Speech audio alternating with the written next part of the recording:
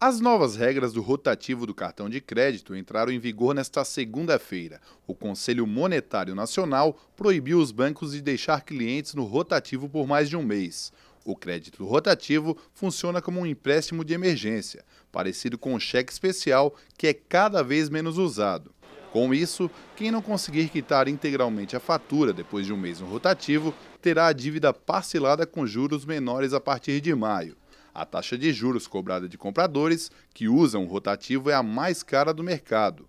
Uma dívida no cartão cresce quase 500% em um ano. Com as mudanças, o cliente ainda pode entrar no rotativo quando fizer apenas o pagamento mínimo.